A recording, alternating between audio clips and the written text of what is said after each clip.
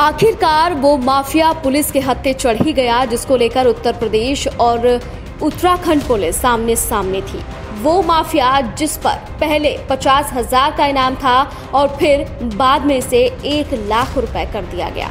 तो आज वो किस्सा हम आपको बताने जा रहे हैं, जिसे सुनकर आपका भी दिमाग चकरा सकता है। यूपी में अपराधियों के खिलाफ कितनी सख्ती है, ये किसी से छिपी नहीं है। टीवी स्क्रीन पर जो वीडियो आप देख रहे हैं, वो बुधवार की घटना न सिर्फ़ वीडियो है, बल्कि इस वीडियो में आप उस गोली की आवाज़ भी सुन सकते हैं, जिसने उत्तराखंड और यूपी पुलिस को आमने सामने लाकर खड़ा कर दिया।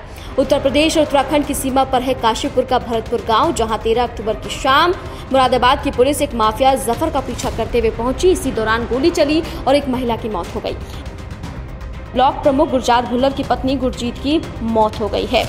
उत्तराखंड पुलिस का आरोप है कि यूपी पुलिस बिना वर्दी के पहुँची थी।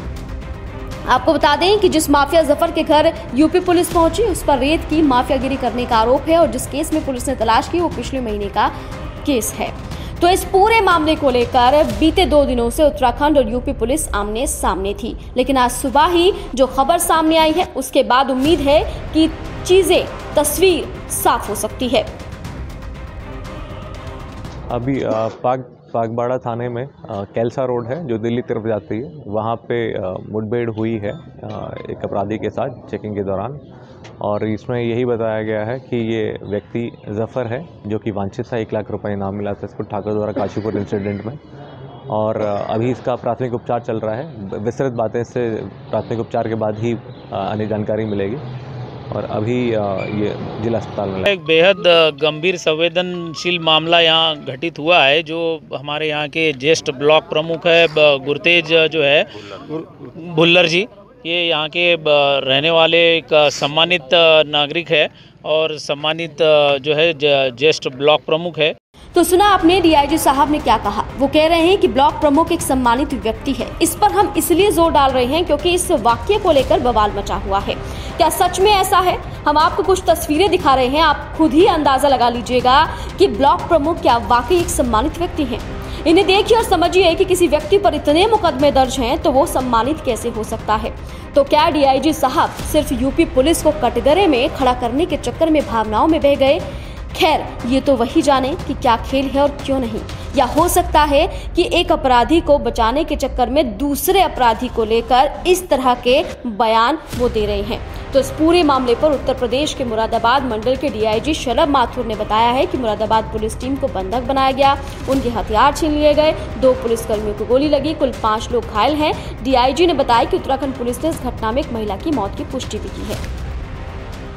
इसके ऊपर पचास हज़ार रुपये का इनाम है और ये वांछित भी था हमारे यहाँ पे। गैंगस्टर का अभियुक्त है और पूर्व में जो खनन का जो घटना यहाँ पर हुई थी उसके अंदर भी इसका नामजद अभियुक्त है। और जो अभी हमारे पुलिस कर्मियों द्वारा जानकारी दी गई है कि इनके पास स्पष्ट रूप से सूचना थी और यहाँ से वो भागा है। भागने के उपरांत जब टीम पहुँची है तो वहाँ पर एक पर्टिकुलर प्लेस का जिसका कि अभी हम पुष्टि कर रहे हैं वहाँ पर उनके द्वारा जो है पर जो है उनको पुलिस टीम को बंधक बनाया गया है और पुलिस टीम को बंधक बनाने के उपरांत जो है उनके असले भी छीने गए हैं और असले छीनने के अंदर इसके अंदर अ, जो हमारी टीम का कहना है कि वहाँ पे बेतसी फायरिंग भी की गई है जिसके अंदर हमारी पुलिस टीम के दो कर्मचारियों को जो है गोली लगी है और साथ ही साथ तीन और इंजर्ड हुए हैं। टोटल पाँच पुलिसकर्मी इसके अंदर इंजर्ड है जिनका इलाज कॉस्मोस में चल रहा है। अभी तक की घटना की एक जानकारी है। इसमें और कोई चीज़ की पुष्टि होती है तो मेरे द्वारा आपको अवगत कराया जाए। जी इस चीज़ की पुष्टि उत्तराखंड की पुलिस द्वारा की गई है कि वहाँ पर जो एक ये जो घटना हुई है उसमें वहाँ पर एक महिला की मृत्यु हुई है। तो आपने दोनों डीआईजी की बात सुनी है, चाहे वो उत्तराखंड के हों, चाहे वो यूपी के हों। हमें मामला कुछ अटपटा सा लगा, क्योंकि एक अपराधी को इस तरह से सम्मानित बताना क्या उत्तराखंड पुलिस के लिए सही है? और जो आरोप उत्तराखंड पुलिस यूपी पुलिस पर लगा रही है, मुरादाबाद पुलिस पर लगा रही है कि वो जो एसओजी की टीम है, वो बिना वर्दी के पहुँची थी तो ये भी हम आपको अच्छे से समझाएँगे कि आखिर एसओजी टीम क्यों बिना वर्दी के पहुँची। तो हमें अटपटा सा मामला लगा। हम पहुँचे सेंथिल अबुदई डीआईजी प्रवक्त पुलिस मुख्यालय उत्तराखंड के पास, जिनसे सवाल किया गया उस बयान को लेकर जो कि डीआईजी कुमाऊं ने दिया था। तो इस पर वो कुछ भी कमेंट नहीं करना चाहते थे। इससे साफ़ होता है कि जिस घर में एसओजी टीम पहुँची, उस घर के मालिक पर आपराधिक मुकदमे दर्ज हैं। इसलिए पुलिस वहाँ अचानक पहुँचती है, क्योंकि पहले से ही पुलिस को पता था।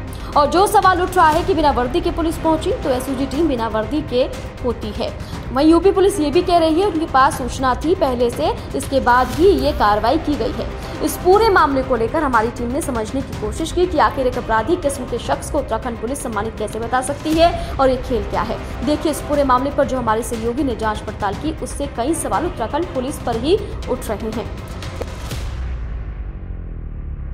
इस पूरी घटना के बाद उत्तराखंड की पुलिस और उत्तर प्रदेश की पुलिस आमने सामने खड़ी नज़र आ रही है। सबसे महत्वपूर्ण चीज़ ये है कि उत्तराखंड की पुलिस ये कहती हुई नज़र आ रही है कि वो एक सम्मानित परिवार था जिस परिवार के घर पर उत्तर उत्तर प्रदेश की पुलिस पहुँची और उन्होंने वहाँ फायरिंग की। लेकिन बड़ा सवाल ये भी है कि आखिरकार वो सम्मानित परिवार कौन है? उस सम्मानित परिवार पे कितने मुकदमे हैं? ये भी सवाल खड़े करता है। लेकिन दूसरी तरफ़ जब कुमाऊँ रेंज के डीआईजी ने अपना बयान दिया तो वो भी यही कहते हुए नज़र आए कि वो एक सम्मानित परिवार है। आइए आपको सुनाते हैं कि आखिरकार क्या कहा कुमाऊँ के डीआईजी ने। एक बेहद गंभीर संवेदनशील मामला यहाँ घटित हुआ है, जो हमारे यहाँ के ज्येष्ठ ब्लॉक प्रमुख है गुरतेज जो है भुल्लर जी। ये यहाँ के रहने वाले एक सम्मानित नागरिक है और सम्मानित जो है ज्येष्ठ ब्लॉक प्रमुख है।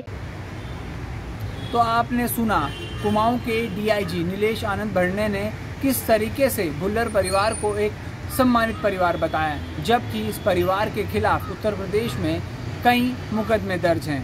यानी कि ये तो साफ़ था कि इस परिवार के कहीं ना कहीं इन मुकदमों के पीछे कुछ तो वजह रही होगी। लेकिन उससे भी बड़ा सवाल ये है कि खुद उत्तर प्रदेश पुलिस ये दावा कर रही है कि उन्होंने उत्तराखंड की पुलिस को सूचना दी थी इस दबिश से पहले। और इसके साथ ही सभी चीज़ें उन्होंने पहले से ही देख ली थी, क्योंकि उन्हें मालूम था कि उस क्षेत्र में, उस घर के अंदर ही वो इनामी बदमाश मौजूद हैं। इसके ऊपर पचास हज़ार रुपये का इनाम है और ये वांछित भी था। हमारे यहाँ पे गैंगस्टर का अभियुक्त है और पूर्व में जो खनन का जो घटना यहाँ पर हुई थी, उसके अंदर भी इसका नामजद अभियुक्त है।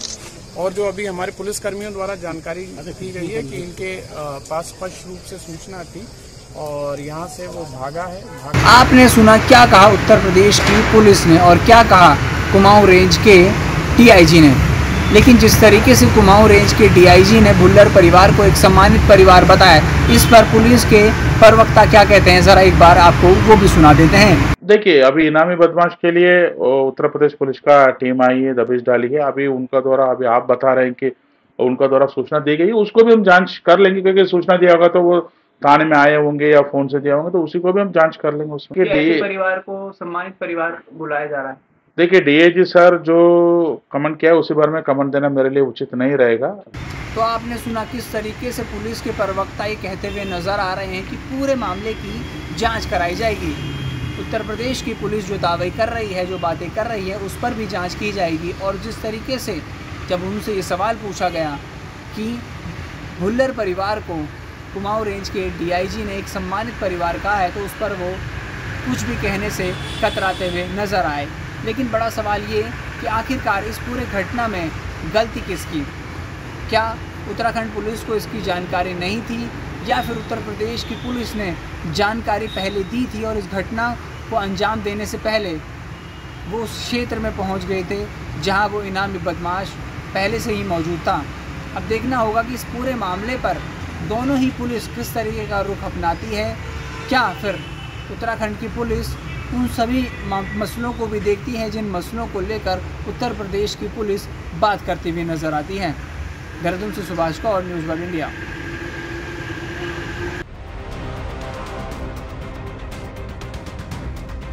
तो एक माफिया को पकड़ने गई पुलिस से, पुलिस ही भिड़ जाती है और एक महिला की मौत हो जाती है। हम गहरी संवेदना उस महिला के प्रति रखते हैं, जिस महिला की इस गोलीबारी में मौत हो गई है।